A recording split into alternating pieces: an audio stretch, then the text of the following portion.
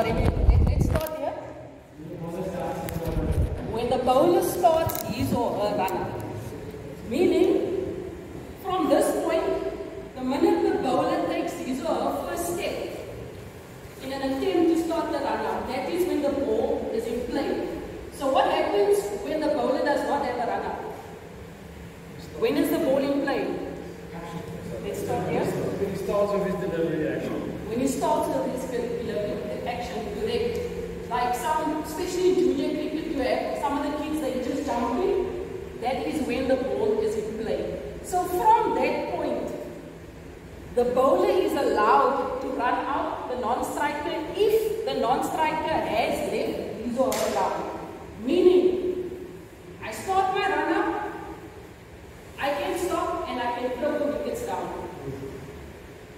I can put the wicket down. Umpire is called to be out. But now, the question comes into play. It can't be out of My his bowlers. stance.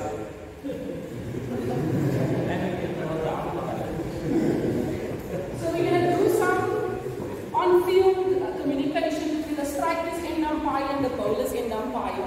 If a bowler is a long runner and it's behind the bowler's end umpire, takes a few steps, he won't be able to see it. What would we do in that point? Because now it's when the bowler starts his run up. Yes. Excuse me? And then, what would be your next step? The wicket is put down, the non-striker is short of our ground.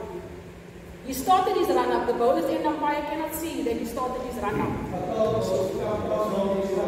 Okay? Anybody else?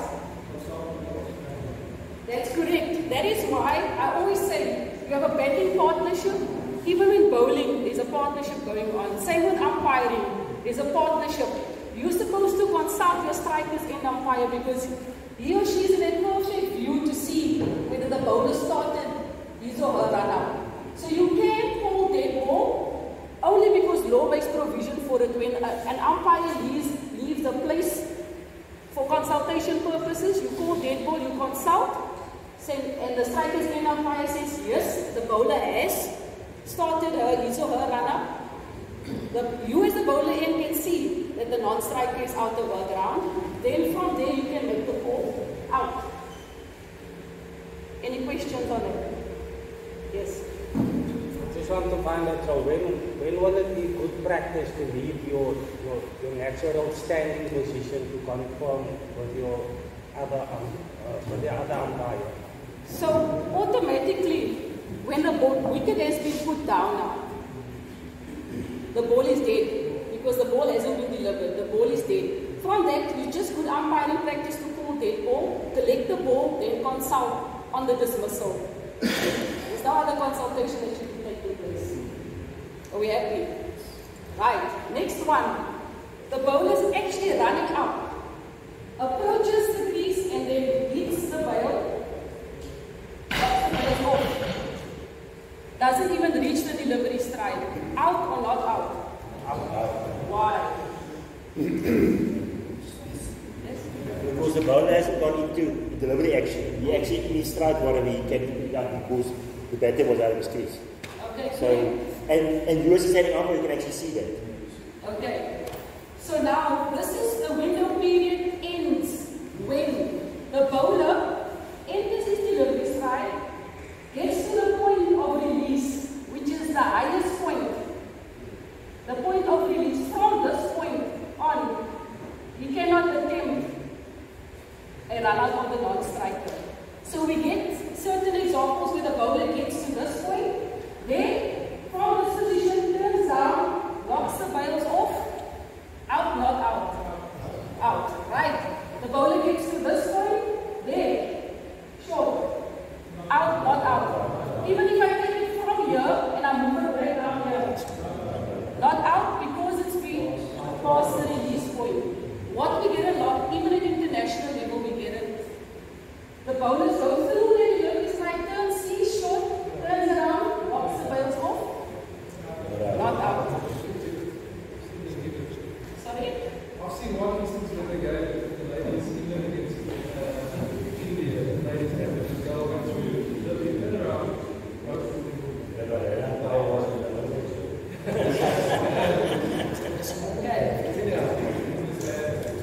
just another example. What if the bowler gets into his stride, the arm doesn't come past the release point, then turns around and sees the batter is out of his, uh, his or her crease, looks at the batter and then realizes, but you're out of your crease and throws the stumps while the batter is not even back in their crease.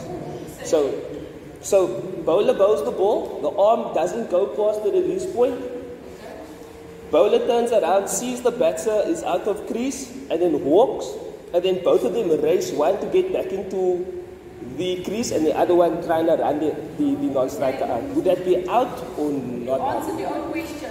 It has to be, if you at the release point, it cancels out running out the non-striker. No, but the arm hasn't passed the release point yet. Can, can I give a demonstration? Okay, so, so the bowler comes, the bowler gets into the delivery, but the arm doesn't surpass the release point, but also that time still time follows through, looks at the batter, realizes the batter is out of the crease, and then he just runs and runs the Okay, let me give you, let me give you what the law says pertaining to that. I'm going to read it to you.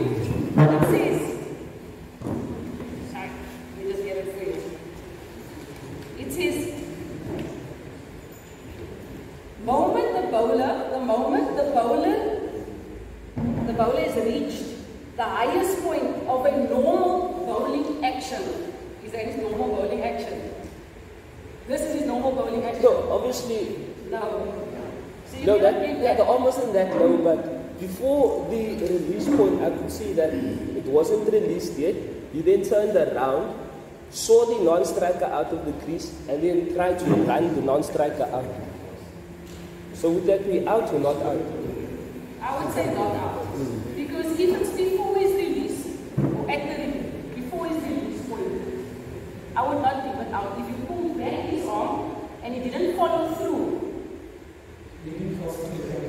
I, I would say, I think if I was an umpire in that situation, if I saw that going on, I think probably before he turns round and throws the stumps, I'm looking at an aborted bowling action, so I'm probably calling and saying dead ball left arm.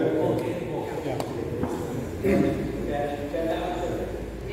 That is deceiving the batsman. It's the same thing like fielding. Very same thing applies to that.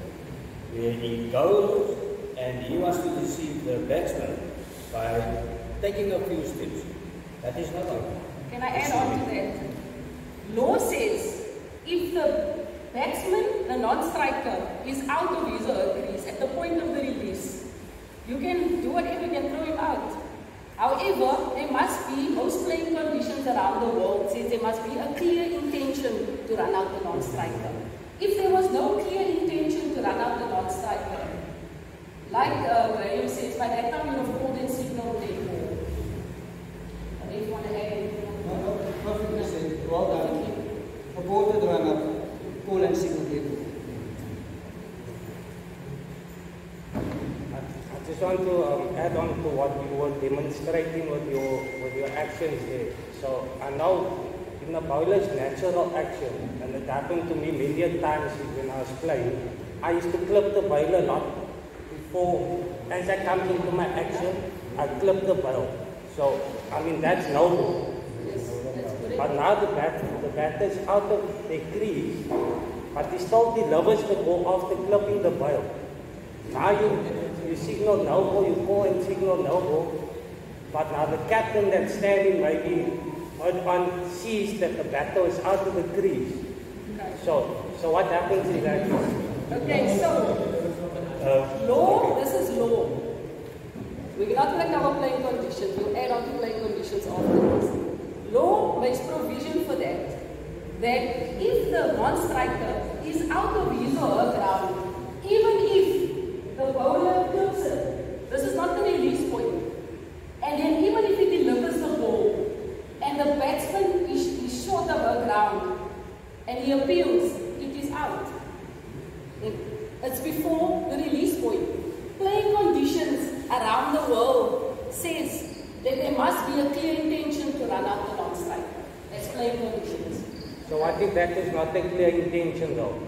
But now the captain that is standing there, he appeals. Then what? them playing conditions, not out. Does it answer the question? Yes. Playing conditions, law is law. Short of your ground, before the release point, even if it's accidental, law says it's out. Playing conditions, clear intention to run out the non-striker. Any other questions?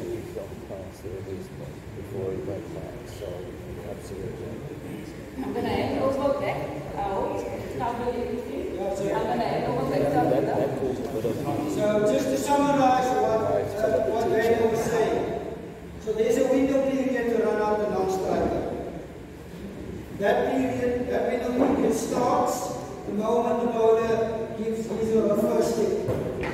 That's when the ball becomes alive. So even after giving one step, the bowler is then allowed to throw at the stumps and the run out non-striker. So that's when it starts. When that window period close? When the bowler gets to his or her pass his or her release point. That's when period closes. So any any time from before it reaches the release point and when the bowler takes his first step, that is when the bowler is allowed to run out the non-striker. So what happens if the bowler has passed the release point and doesn't release the ball? What must he do as an umpire? Call and signal dead ball.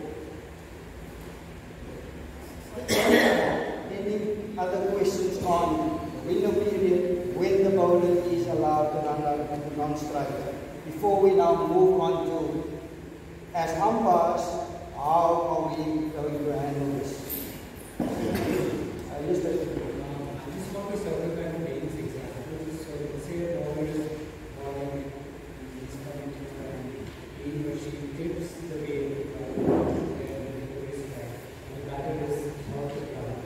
And he ends up releasing the ball. So what would happen in that case? It would be one more Uh, yes, so there's another law that now comes into, into effect. So what happens if the bowler in his or her delivery strike knocks off the bails? What is it? Well, then signal uh, no ball. But now the non-striker was not behind the popping crease. As per the law, and now there's an appeal for run out. If you've called no ball, are you allowed? Okay, and the non-striker be given a run out. You've called no ball.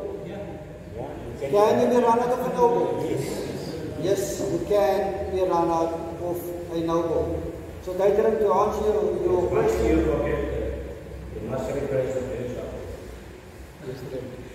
So Daitram, to answer your, your question, the no ball will, count under law because the non- non-striker was not behind, didn't have any part of his personal bat behind the popping crease when the wicket was broken, and the wicket was, bro- was broken before the release point. Yes, it was accidental, but under law, if there is an appeal, non-strikers should be given a That in conditions, I mean, the, the captain do ask, uh, does it state law, where is the law or something like that? Can we, can, is a reference for us to say? Yeah, so the so, so under under playing condition, there needs to be an intent to run out the, the non the non-striker. Yes, it's not in our playing condition, but our playing condition states if uh, if it's if our playing conditions is silent, we then refer to CSA playing condition. If CSA playing condition uh, is silent, we then go to the ICC playing condition, and it is uh, clear in under the ICC playing condition that there needs to be an intent to run out the non-striker.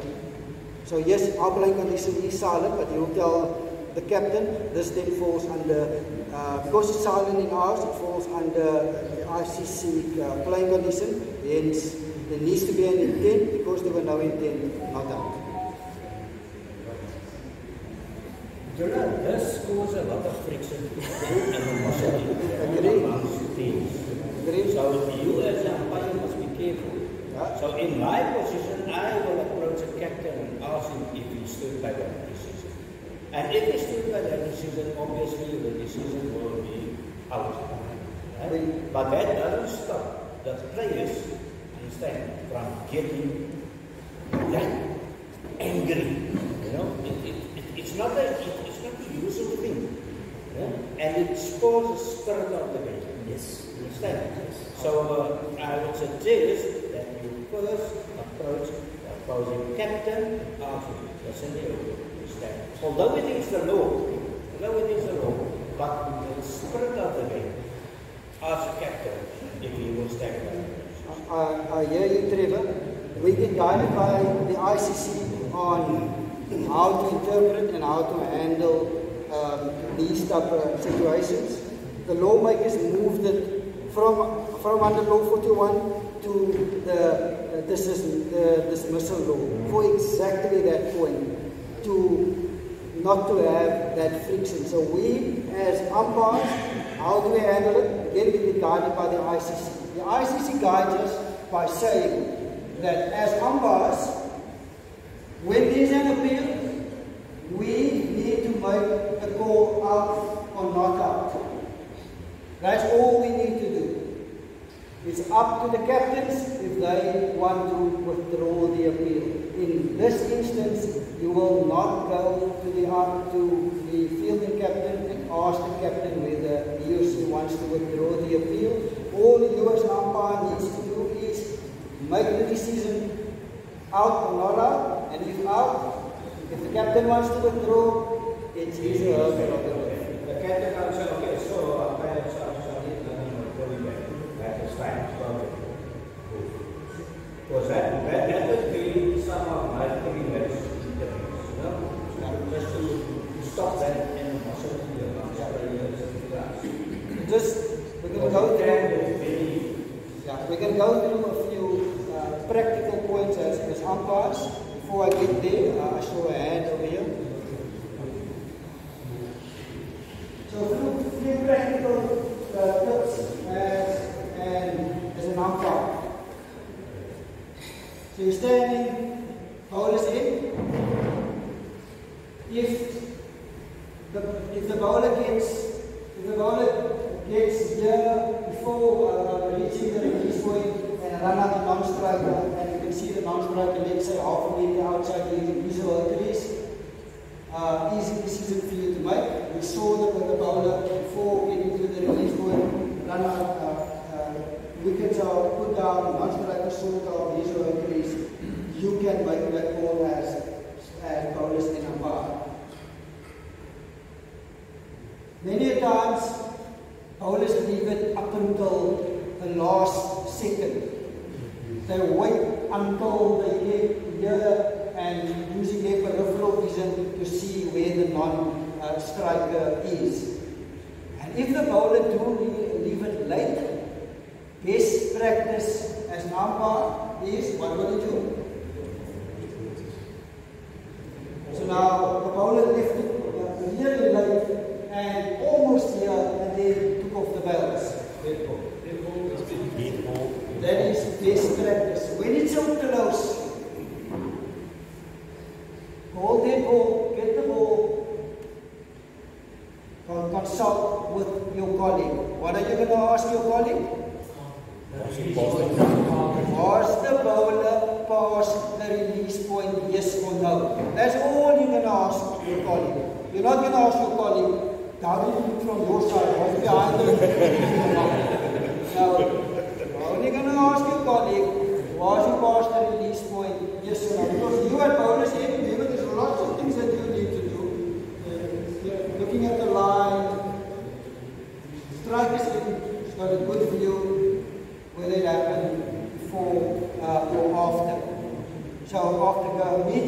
meeting, consulting, if the answer to that question is yes, it happened before the release point and the non-striker was short, you then give the non-striker out run out. If the captain wants to withdraw the appeal, no problem, the captain can withdraw the appeal. If not, you give the stri- non-striker out, run out. Uh, if I may just look from a when I stand, I, I never, I seldom watch the bowler quite frankly. I watch the wicket. So, um, I, is there not a different way that you can, uh, that we can do this? It's, as a, you stand you know, you watch the keeper and so on. You don't have be. That's just what the practical is. Mario, good umpiring technique is as strikers end.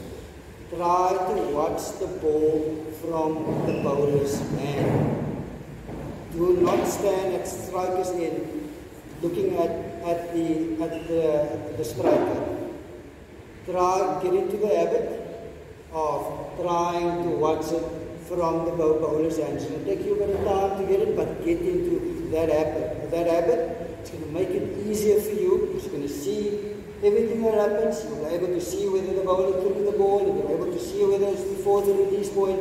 You- you're able to follow the ball as it release, as the bowler releases the ball. You're able to see waist high full toss much easier. You're able to see short pitch bowling so much easier. So get into that practice, focusing on uh, the bowler uh, as soon as the uh, try to follow the ball from the hand. One. On, on that point, as a spelling umpire, you follow the ball as the bowler comes running in everything, whatever. So now I'm watching there. So now the wind is popping and the ball is falling off. But now the batsman didn't get affected by it because he played the shot and the ball went for a four. But now the slip fielder was distracted by the ball falling off. And he wanted us to cancel. No, no, get ball, get ball. But I was watching the bowler coming in. So I never saw the ball fall on the floor. On the, on the pitch, whatever. And then we said, no, I'm going to call it because it didn't affect the batsman or the bowler. But the slip fielder was complaining. I'm going to complaining about it. I, I, you know, I, I hear you, but focus, try to follow the ball from the bowler's hand. Get, get there quickly. If it fell off and you didn't uh, see it, what are you going to do? Play on. Yeah, you cannot go unless you see it. Yes. Otherwise, you, you cannot go. Happy? Thank you.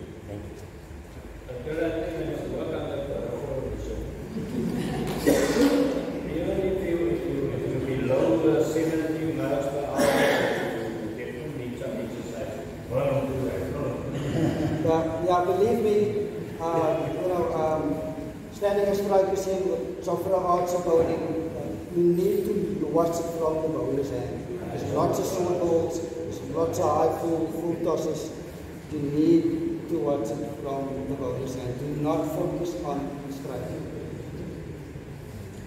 So, so, so is there practical to stand further backwards just to? Why do you? No, don't use your peripheral vision. Follow from the bowler's hand.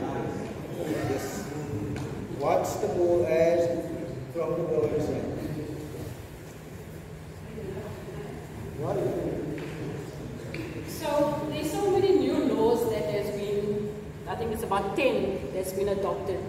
So what I would do is to remedy the situation because there's been an increase of Mankads now reported. And there's nothing wrong with that, it's a form of dismissal. But you have the toss to discuss it with the, with the captains to say, at the toss you tell them, listen, it's a form of dismissal now. We are not going to consult you whether it's out or whether it's not out. We're going to adjudicate it according to the law. If you want to withdraw your appeal, so be it. You will communicate it with us. Good umpiring practice is also to jot down the ball, the bowler, and the batsman because you're going to have situations where that batsman goes and scores a hundred. They're going to come back to that dismissal and say, but the umpy, but the umpy, but you have it on your bowling card to cover yourself. So that's just some a tip for good umpiring practice, just to remedy the situations. The captain cannot say the umpires not inform us. We did it with the court law, we did it with the saliva rule, we can do it with the medical as well. Sorry, run out. Another umpiring tip, if you had always said, do see the non-striker leave his or her ground early. What I will do is, I will whisper in the non-striker's ear, I notice that you are leaving your ground early. Please stay behind the crease until the ball is released. So if it should happen, the non-striker only has himself or herself to play. Similarly, how you work with the bowler, if you notice the bowler is getting tight on the front foot, what do you do? You whisper the bowler's ear, tight, tight on the front foot, tight on the front foot. Similarly, when you do see the batsman leaving his or her ground early, whisper in his or her ear that stay behind until the, the bowler releases the ball. Any other questions on running out the non-striker? If not. President, that is